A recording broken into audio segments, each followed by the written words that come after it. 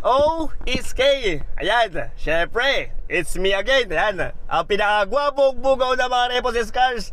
Ayan, apat na araw tayo walang vlog. So ito, sundot muna tayo ng pabenta ng barkada ko. Ayan, dito na naman tayo sa Project 8, dito sa bahay ng tropa ko na, ni, na si Jay. Ayan, shoutout kay Jay. Ito, uh, sa naghahanap ng mga ng 7-seater, isang unit lang to. Pero sana, uh, ma- mayroong magkagusto rito kasi uh, sobrang sariwa nito at saka nagbaba siya ng presyo. Okay? Pero syempre, alam niyo na, bago tayo mag-start, uh, before we get start, if you are new here in my YouTube channel, okay? Baka pwedeng pa okay. Okay lang kayo sa video ko. Tapos, ah... Uh, yan, pa-like, subscribe, and share nyo na rin. Baka malay nyo, isa sa mga gusto nyo or isa sa mga kaibigan nyo yung magkagusto sa mga sa unit na to. At sa ibang unit na hinahanap nyo, sa ibang sasakyan, ayun, uh, mag-like kayo, mag-follow kayo sa aking Facebook page. Ayan, pindutin nyo rin yung okay dyan para updated kayo sa mga ibang unit na mga dumadating sa mga pinagbabalagan ko, okay? Para yon, malay nyo, isa doon yung magustuhan nyo. Ako naman, wala naman ako ibang gusto, kundi ang manap ako ng mga unit na gusto nyo, okay? Okay, okay so ayun, siyempre yan yung contact number ko, I save nyo yung number ko para sa ibang inquiries nyo, yan, sa mga ibang yung katanungan nyo, pero mag-comment din kayo sa akin, okay? Sabihin nyo lang, pogi mo, Sir Bugs. Yan, alam nyo naman ako. Pag sinasabi na ako ng pogi o gwapo, madali ako naniniwala. okay, so ayan yung papakita ko sa iyo yung pinapabenta ng barkada ko, pero isang unit lang to. Okay, so ito siya. So ayan siya, yan. Bali dalawa yun nakaraan eh, kasama yung Montero pero nakuha ka agad. Pero meron siyang parting yata na unit kasi sa barkada ko yan. Kaya yung iba iniram ko yung unit niya kasi yan, masikip dito. Ayan, hanggang dalawang unit lang na pwede parking dito. So tara, tignan natin yung details ng unit na yan. Ano pang hinihintay nyo? Let's go sa go! So ayan, ito yung pabenta ng kaibigan natin. Ay, kaibigan ko lang pala. Yan, so ito yung bahay nila oh. Yan, pag nakursunadahan nyo to, tapos uh, punta na lang kayo dito. Pero syempre, tawagan nyo ako para, yon kung sakali, tatawad pa kayo, ilalapit natin sa kaibigan natin. Yan siya, oh. Wapo, no? Yan, papainom yan mamaya. So, ito, for sale. Uh, Ford EcoSport 2017. Automatic, titanium. Ayan, top of the line. Okay, ang kanyang color ay Breeze Brown Titanium Flagship Color. Ah, di ba? Kulay pa lang, panalo na. Wala na kayong talo rito. Okay? 1.5 engine, ayan, fuel efficient, automatic transmission, ayan, with leather seat cover. Tignan ko nga kung leather nga ba yung loob nito. Tignan ko lang. So ayan, leather nga siya. Ito, ganda ng loob nito.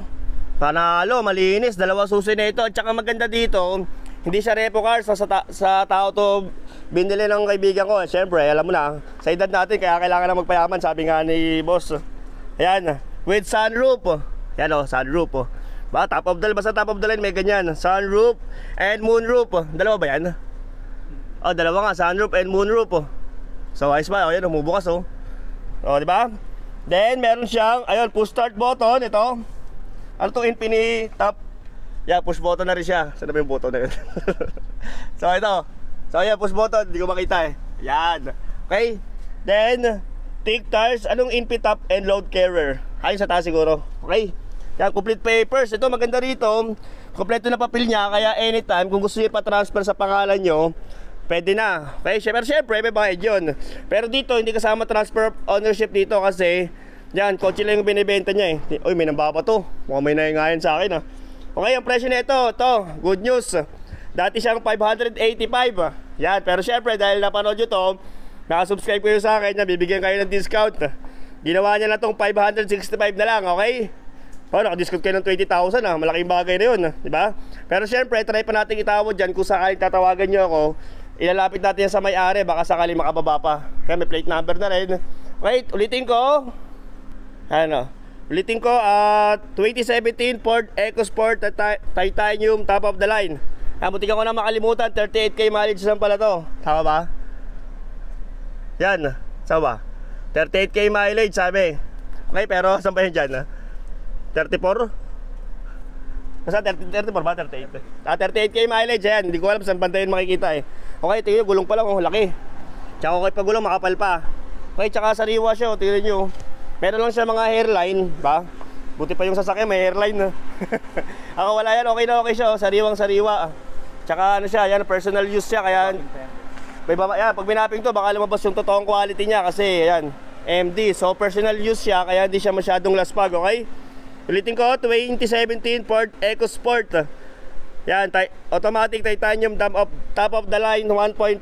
Okay? 565k na lang to. Pero syempre, ang pag ah, sa lahat ng tawag tawad nyo, yan tawagan nyo ako or pumunta kayo dito, ilalapit natin niya kay boss, kay boss Jay. Ako naman simpleng painom lang niya, okay na ako eh. Para sa inyo hanapon ko kayo. Bakit niya naman gano'n siya kasaliwa oh. Ganda no? So ano pang hinihintay nyo? Pa-reserve na. Ah, reservation pala rito, magkano? 10, 20? Ah, 20,000 ng reservation. Pero syempre, one week lang yon. Kailangan makuha nyo na agad para makakuha na agad ng bagong sasakyan. Ayan, nakapag-light na rin siya. Pag-light. Ayan, meron na rin siya yung dito, top of the line eh. Tsaka yan, libre na rin yan. Pero kung ayaw nyo na ito, bigyan nyo na lang sa akin. Itong nasa taas. Okay? Ito, ganda. Tsaka linis talaga ng lobo. Para siyang hindi siya 2017, mukha siyang 2019. Tsaka ito, ayan. Alam niyo na para saan to. Yung mga ex nyo, pag pinasok nyo yung ulo dyan, isarado nyo, tapos uh, paandar nyo na mabilis. So, aircon to, okay, aircon. Complete papers na to. Yan, with manual booklets. And, RFID, meron na rin pala RFID. May ano na rin to, yung, may warranty, no? Oh, warranty booklets, okay? So, ano pang hinihintay nyo? Matik na yan. Pili kayo sa ibang sa Facebook ko, pili kayo na ibang unit na hinahanap nyo, baka isa doon. Pero ito, quality to, ako na nagsasabi. Okay, hindi ako mapapaya rito. Yan o. 565 lang para ka na kumuha ng brand new. Okay? Okay, so ito naman yung likod niya, oh. Luwag din, malinis, wala tang... Kala mo, hindi masyadong ginamit, no? Yan, oh. Wala masyadong dumi. Kaya, si- syempre, alam nyo na, pag personal, yun ang maganda pag binibili sa personal. Pero okay din naman yung repo cars kasi safe din naman pag sa bangko. Alam niyo naman yung bangko. Pero maganda kasi kapag personal sa tao ka bumili, yan, complete papers na. Wala ka nang iisipin, okay? Pero syempre, yung transfer of ownership tsaka yung insurance, kayo nang bahala doon mag-apply. Kayo nang bahala maghanap kung saan nyo gusto magpa-insured. Okay? Okay, last na to. 2017 Ford EcoSport Automatic Titanium Top of the line. Yan 1.5 engine automatic. Yan 565,000 complete papers. Yan.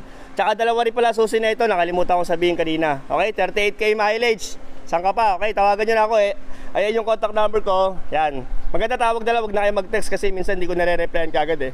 Okay? Okay, so yun, it, isa lang muna kasi wala eh, napadaan lang ako dito sa barkada ko. Medyo syempre, ako kumusta, mga tropa-tropa, at saka may nambabato na, kaya tama na muna. Okay, sana kahit pa paano, merong magkagusto dito. Yan, okay na okay yan, quality yan. Okay, at ayun, sana huwag kayong magsawa na supportan ako sa YouTube at mag-follow kayo sa aking Facebook page. Marami kayong unit na pagpipiliin doon. Okay, at sa muli, Starbucks nga pala. Thank you very much for watching.